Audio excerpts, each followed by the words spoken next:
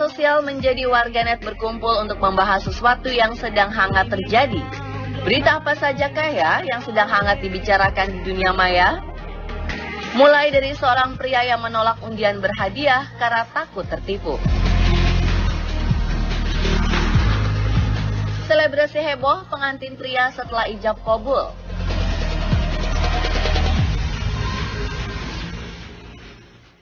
Sampai fotografer difabel asal Indonesia yang disorot media asing. Seluruh informasi tersebut akan kami rangkum dalam segmen No on Sosmed.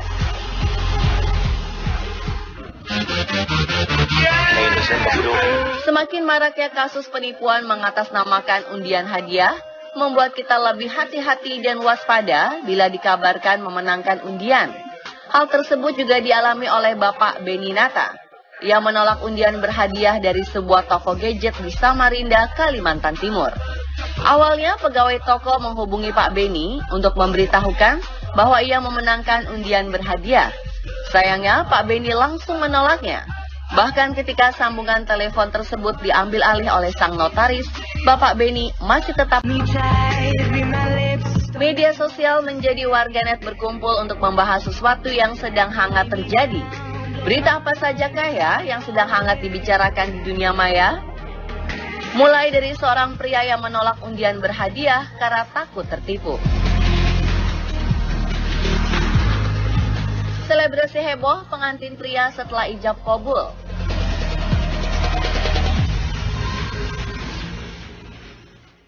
Sampai fotografer difabel asal Indonesia yang disorot media asing. Seluruh informasi tersebut akan kami rangkum dalam segmen No on.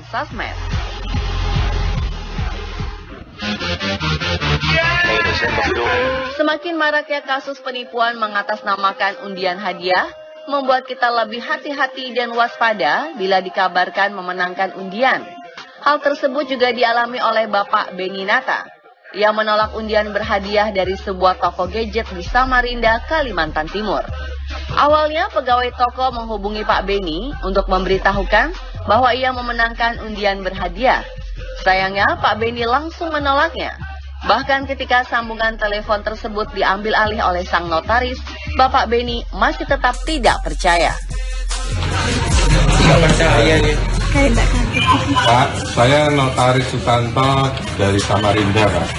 Hal yang menarik dalam setiap kunjungan Presiden Joko Widodo ke setiap kota, termasuk dalam kunjungannya ke Tanjung Selor, Kalimantan Utara 6 Oktober 2017 kemarin. Seperti biasa, Pak Jokowi akan membagikan hadiah, tapi syaratnya harus menjawab pertanyaan. Seorang ibu mengangkat tangannya ketika Pak Jokowi menawarkan kuis berhadiah sepeda. Yang terpilih adalah Ibu Rini. Namun ketika ditanya tentang Pancasila, Ibu Rini malah mengalihkan pertanyaan dengan alasan sebenarnya ia mengangkat tangannya. Tapi Pak Jokowi tetap meminta Ibu Rini untuk terus membacakan Pancasila. Lucunya ketika Ibu Rini tidak hafal dengan sila keempat, ia malah mendorong-dorong Pak Jokowi. Loh, Loh kok saya yang disalahin gimana sih? Eh, ya warna ya, atau ini sudah tua loh Pak ya. Jadi apa hubungannya tua sama kamu? Ini itu tadi sengaja angkat tangan gini biar bisa salaman karo Pak Jokowi gitu. Pak Jokowi hanya bisa tersenyum dengan tingkah polos Ibu Rini. Salaman dong, salaman aja ini. Salaman, udah. Kan belum tentu 10 tahun lagi bisa salaman gitu loh, Pak. biar Zulkarnain, seorang fotografer difabel menjadi sorotan media internasional. Pria yang akrab disapa Bang Jul ini juga menjadi perbincangan karena kepintarannya dalam mengoperasikan kamera meskipun tidak memiliki anggota tubuh yang sempurna. Baru-baru ini media internasional Al Jazeera meliput kegiatan sehari-hari pria berusia 25 tahun ini. Dalam wawancaranya, Bang Jul mengaku bahwa kondisi ini sudah ia dapatkan dari lahir dan keterbatasan fisik tidak menghalanginya dalam menekuni hobi fotografi. Dan saya punya cara sendiri untuk beraktivitas. Bang Jul hanyalah seorang tukang foto KTP di desanya. Namanya semakin terkenal ketika ia mendapatkan beasiswa di Sekolah Fotografi Darwis Triadi di Jakarta pada 1992. Dalam wawancaranya untuk Al Jazeera, Bang Jul berpesan bahwa untuk menjadi yang terbaik itu tidaklah harus sempurna. Tetaplah menginspirasi Bang Jul dan terus kejar cita-citamu.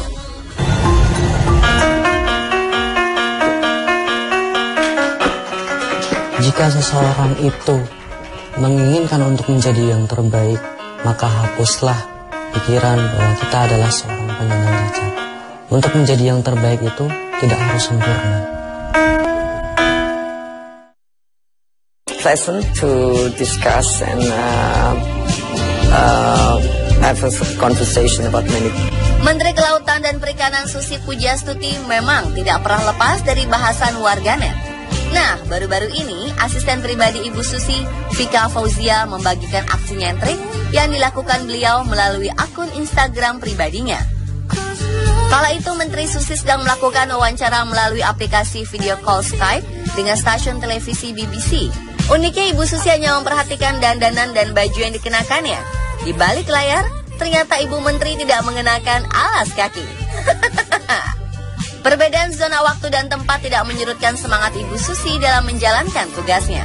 Padahal saat itu beliau sedang berada di kota Malta, Eropa Selatan untuk menghadiri sebuah konferensi. Terus bekerja dan basmi para mafia perikanan ya Bu. Bravo.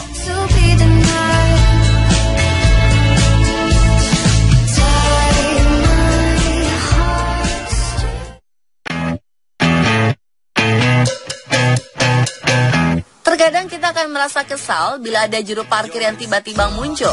Membantu saja tidak, eh, tapi meminta uang parkir. Tentu saja tidak semua juru parkir seperti itu. Baru-baru ini seorang pengguna Facebook bernama Faif Maulana Habibi membagikan kisahnya di grup Facebook Info Cegatan Jogja saat ia bertemu dengan juru parkir yang baik hati. Faif bercerita seorang juru parkir di samping Fakultas Olahraga Universitas Negeri Yogyakarta memberikan pelayanan ekstra terhadap motor-motor yang dijaganya. Bapak yang tidak diketahui namanya ini membersihkan motor-motor yang terparkir menggunakan lap kanebo. Bahkan saat diberikan uang parkir sebesar Rp2.000, Bapak ini malah memberikan kembalian.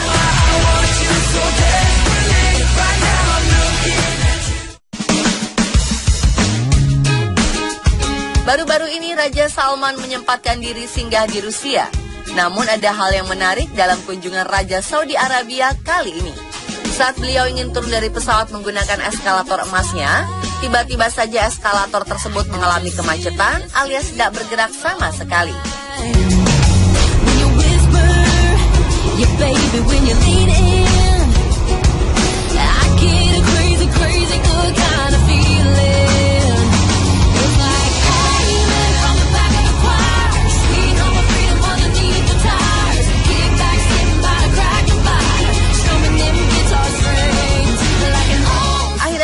Raja Salman memilih untuk berjalan kaki menuruni eskalator. Di media sosial Instagram, video ini sudah ditonton lebih dari 620 ribu kali.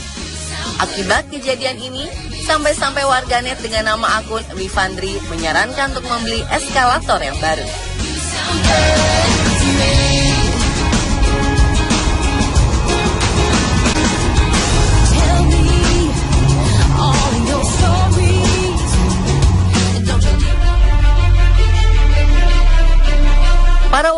Balikpapan, Kalimantan Timur baru-baru ini dihebohkan dengan fenomena makam yang mengeluarkan cairan seperti darah di salah satu kuburan. Sang penjaga makam Ruslan menyebutkan bahwa makam ini merupakan milik seorang wanita yang meninggal pada usia 69 tahun. Cairan berwarna merah kental ini mengeluarkan bau amis seperti darah. Sampai berita ini heboh di media sosial, banyak orang yang berbondong-bondong mendatangi makam ini. Di akun Facebook BKV Channel, video yang menampilkan fenomena langka ini sudah ditonton lebih dari 50 ribu kali. Saat ini cairan berwarna merah kental ini sudah tidak lagi terlihat. Makamnya sudah terlihat seperti makam biasa lagi. Diduga cairan merah tersebut merupakan air yang terkontaminasi cairan besi.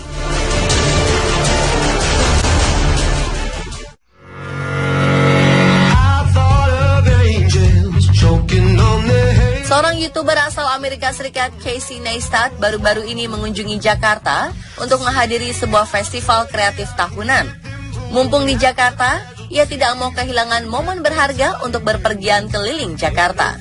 Pria berusia 36 tahun ini memilih transportasi ojek online sebagai sarana transportasinya. Melalui akun Twitter pribadinya, ia membagikan momennya ketika sedang menggunakan jasa ojek online pada 6 Oktober 2017. Selain berkeliling, Casey sempat mencicipi jajanan khas pinggir jalan, es doger, yang berada di daerah Gambir. Otomatis, tweet yang diunggahnya langsung mendapatkan respon dari beberapa pengikutnya di Twitter. Beberapa dari mereka mengucapkan selamat datang di Indonesia dan juga memberikan saran mengenai aktivitas dan makanan yang harus dicoba oleh YouTuber satu ini.